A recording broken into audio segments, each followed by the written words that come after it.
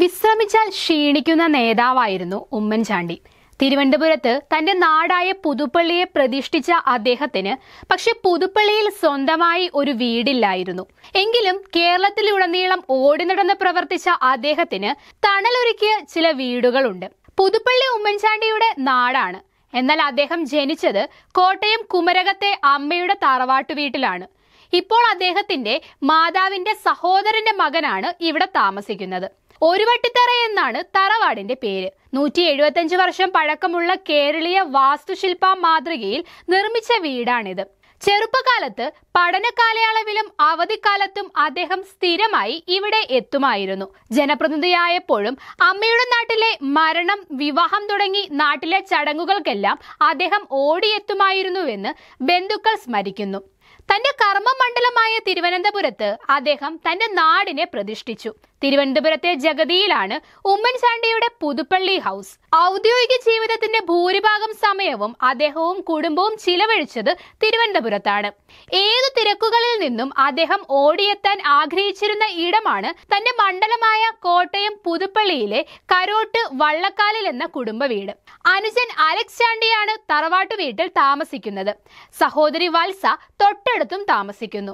M L A ആയപ്പോഴാണ് ഉമ്മൻചാണ്ടി തിരുവനന്തപുരത്തേക്ക് താമസം മാറ്റിയത് ഞായറാഴ്ചകളിൽ താൻ എവിടെയാണെങ്കിലും പുതുപ്പള്ളിയിലെത്തി നാട്ടുകാരെ കാണുമെന്നും അതാണ് തന്റെ തിരക്കെന്നും മുഖ്യമന്ത്രി ആയിരുന്ന കാലയളവിൽ ഉമ്മൻചാണ്ടി പറഞ്ഞിട്ടുണ്ട്. പുതുപ്പള്ളിയിൽ സ്വന്തമായി വീട് വേണം എന്നുള്ളത് ഉമ്മൻചാണ്ടിയുടെ ആഗ്രഹങ്ങളിൽ ഒന്നായിരുന്നു. തറവാട്ടു വീടിന് അല്പമകലെ പുതുപ്പള്ളി ജംഗ്ഷനിലാണ് ഉമ്മൻചാണ്ടിയുടെ കുടുംബവിഹിതമായ ഒരേക്കർ ഭൂമി. ഇവിടെ വീട് നിർമ്മിക്കുന്ന പ്രവർത്തനങ്ങൾക്ക് അദ്ദേഹം തുടക്കം കുറിച്ചിരുന്നു. ആദ്യഘട്ട തൂണുകൾ മാത്രമാണ് പൂർത്തിയായത്. പുതുപ്പള്ളിയോടൊപ്പം എഴുതി ചേർത്ത പേരാണ് ഉമ്മൻചാണ്ടിയുടേത്. ഉമ്മൻചാണ്ടി പുതുപ്പള്ളി പി ഒ എന്ന വിലാത്സത്തിലാണ് അദ്ദേഹത്തിന് കത്തുകൾ ഏറെയും എത്തിയിരുന്നത്. രണ്ടായിരത്തി പതിനഞ്ചിലാണ് ഉമ്മൻചാണ്ടിയുടെ കുടുംബവും ഒപ്പമുള്ളവരും അത് ശ്രദ്ധിച്ചു തുടങ്ങിയത്. വാർത്താ സമ്മേളനങ്ങളിലും പൊതുപരിപാടികളിലെ പ്രസംഗങ്ങളിലും ആ ശബ്ദം നേർത്തു വന്നിരുന്നു. സോളാർ കേസുമായി ബന്ധപ്പെട്ടുള്ള ആരോപണങ്ങൾ അദ്ദേഹത്തെ മാനസികമായി ഉലച്ചതാകാം മാറ്റത്തിന് കാരണമെന്ന് കരുതി ആരും ആദ്യം സാരമാക്കിയില്ല. തിരക്കുകൾക്കിടയിൽ ചികിത്സയ്ക്കായി സമയം കണ്ടെത്താൻ ഉമ്മൻചാണ്ടിയും മെനക്കെട്ടുമില്ല. എന്നാൽ ശബ്ദവ്യത്യാസം കൂടുതൽ പ്രകടമായതോടെ അദ്ദേഹം ചികിത്സയ്ക്ക് വഴങ്ങി. തന്റെ മുന്നിലെത്തിയ രോഗിയോട് സുഹൃത്തായ E N T surgeon doctor John Panicker പറഞ്ഞു ശബ്ദവ്യത്യാസത്തിന് പല കാരണങ്ങളുണ്ടാകാം എൻഡോസ്കോപ്പി ചെയ്തു നോക്കണം ഉമ്മൻചാണ്ടി സമ്മതിച്ചു.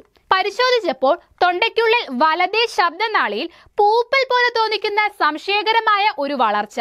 മൂന്നാഴ്ചത്തെ ഇടവേളയ്ക്ക് ശേഷം വീണ്ടും പരിശോധിച്ചു. ആ വളർച്ച അപ്രത്യക്ഷമായിരിക്കുന്നു.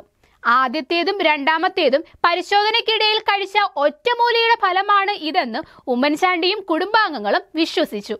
പ്രമേഹ രോഗികളിൽ കാണുന്ന ഫംഗൽ ഇൻഫെക്ഷൻ ആയിരിക്കാം ആദ്യം കണ്ടതും പിന്നെ കാണാതായതുമെന്ന് ഡോക്ടറും ആശ്വസിച്ചു. പിന്നെ ലക്ഷണങ്ങളൊന്നുമില്ലാതെ നാലു വർഷം. യു ഡി എഫ് പ്രതിപക്ഷത്ത്. വീണ്ടും ശബ്ദത്തിൽ കാര്യമായ വ്യത്യാസം കണ്ടപ്പോൾ ഉമ്മൻചാണ്ടി വീണ്ടും ഡോക്ടർ ജോൺ പണിക്കർക്ക് മുന്നിലെത്തി. തൊണ്ടയിൽ ചെറിയ വളർച്ച ശ്രദ്ധയിൽപ്പെട്ട ഡോക്ടർ എത്രയും പെട്ടെന്ന് ബയോപ്സി പരിശോധനയ്ക്ക് നിർദ്ദേശിച്ചു. തിരഞ്ഞെടുപ്പ് യോഗങ്ങളിൽ പ്രസംഗിക്കാനുണ്ടെന്നും അത് കഴിഞ്ഞു വരാമെന്നും അറിയിച്ച് കോൺഗ്രസിന്റെ ഏറ്റവും വലിയ ക്രൗഡ് പുള്ളർ തിരുവനന്തപുരം മുതൽ കാസർഗോഡ് വരെ യു ഡി എഫ് സ്ഥാനാർത്ഥികൾക്ക് വേണ്ടി പ്രചാരണത്തിന് ഇറങ്ങി. തിരഞ്ഞെടുപ്പ് കഴിഞ്ഞു. സെപ്റ്റംബറിലും ഒക്ടോബറിലുമായി തിരുവനന്തപുരത്തും ദുബായിലും വിശദമായ പരിശോധനകൾ. സംശയകരമായ വളർച്ചയാണെന്ന് കണ്ടതോടെ രണ്ടായിരത്തി പത്തൊൻപത് നവംബറിൽ വെല്ലൂർ ക്രിസ്ത്യൻ മെഡിക്കൽ കോളേജിൽ ബയോപ്സി പരിശോധന നടത്തി. കൂടുതൽ ഭാഗങ്ങളിലേക്ക് പടരാനിടയുള്ള ക്യാൻസർ വളർച്ചയാണ് ഇതെന്നായിരുന്നു റിപ്പോർട്ട്. ഇനി വേണ്ടത് കീമോതെറാപ്പിയാണെന്നും ഡോക്ടർമാർ നിർദ്ദേശിച്ചു. ഉമ്മൻചാണ്ടിയും കുടുംബവും തിരുവനന്തപുരത്തേക്ക് മാറി. റീജിയണൽ ക്യാൻസർ സെന്ററിൽ തുടർ ചികിത്സയ്ക്കായി പ്രവേശിപ്പിച്ചതിനു പിന്നാലെ വില്ലനായി ഡെങ്കിപ്പനി എത്തി ശാരീരിക അവശത കാരണം കീമോതെറാപ്പി ഉടൻ ആരംഭിക്കാൻ കഴിയാത്ത അവസ്ഥയായി.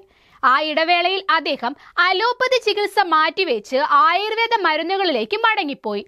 തുടർന്ന് ഉമ്മൻചാണ്ടിയും കുടുംബവും വിദഗ്ധ ചികിത്സയ്ക്കായി ജർമ്മനിയിലേക്ക് പോയി. അവിടെ നടത്തിയ പരിശോധനകളിൽ ക്യാൻസർ വളർച്ച കാണാനില്ല എന്നായിരുന്നു റിപ്പോർട്ട്. തിരിച്ചെത്തി കോട്ടയത്തെ ചെറിയാൻ ആശ്രമം ഹോളിസ്റ്റിക് സെന്ററിൽ നടത്തിയ എൻഡോസ്കോപ്പിയിലും വളർച്ച കണ്ടെത്താനായില്ല. ചികിത്സകളൊന്നുമില്ലാതെ രണ്ടായിരത്തി ഇരുപതിൽ ഉമ്മൻചാണ്ടി താരതമ്യേന ഉന്മേഷവാനായി. രണ്ടായിരത്തി ഇരുപത്തൊന്ന് ഏപ്രിൽ കോവിഡ് പിടികൂടി. പിന്നാലെ വീണ്ടും വില്ലനായി ശബ്ദ തടസ്സമെത്തി രണ്ടായിരത്തി ഇരുപത്തിരണ്ട് ഫെബ്രുവരിയിൽ കൊച്ചിയിൽ നടത്തിയ പരിശോധനയിൽ വലത്തെ ശബ്ദനാളിയിൽ വീണ്ടും വളർച്ച തിരിച്ചറിഞ്ഞു. കീമോതെറാപ്പിയിലേക്ക് കടക്കാൻ ഡോക്ടർമാർ നിർദ്ദേശിച്ചു. പിന്നാലെ വിദഗ്ധ ചികിത്സയ്ക്കായി ജർമ്മനിയിലേക്ക് പോയി. കീമോതെറാപ്പിക്ക് പകരം ലേസർ രശ്മികൾ കൊണ്ട് ക്യാൻസർ കോശങ്ങളെ നശിപ്പിക്കുന്ന ചികിത്സയ്ക്ക് അതായത് ലേസർ സർജിക്കൽ ഡീബൾക്കിംഗ് ചികിത്സയ്ക്ക് ശേഷം ഉമ്മൻചാണ്ടിയെ ബംഗളൂരുവിലെ എച്ച് സി ജി ആശുപത്രിയിൽ എത്തിച്ചു. കഴിഞ്ഞ ഡിസംബറിൽ നടത്തിയ പരിശോധനയിൽ വലത്തെ ശബ്ദനാളിയിൽ നിന്നും തൊണ്ടയുടെ കൂടുതൽ ഭാഗങ്ങളിലേക്ക് ക്യാൻസർ പടർന്നത് കണ്ടെത്തിയതോടെയാണ് ആശങ്കകൾ ഏറിയത്. പിന്നാലെ ഭക്ഷണം പൂർണമായി കുഴലിലൂടെയാക്കി. കീമോതെറാപ്പി താങ്ങാനാകുമോ എന്ന ആശങ്ക കാരണം അതൊഴിവാക്കി. പകരം പോഷകങ്ങൾ നൽകി ആരോഗ്യം നിലനിർത്താനുള്ള ശ്രമത്തിലായിരുന്നു ഡോക്ടർമാർ. ആൾക്കൂട്ടത്തിന് നടുവിൽ ജീവിച്ച ആ അത്ഭുത മനുഷ്യനെ എട്ടു വർഷം പറ്റിച്ച ക്യാൻസർ അവസാനം ആശുപത്രിയിലും വീട്ടിലുമാക്കി ചുരുക്കി. ഇന്നലെ തിരിച്ചു വരാനാകാത്ത ഇടത്തേക്ക് കൊണ്ടുപോയി.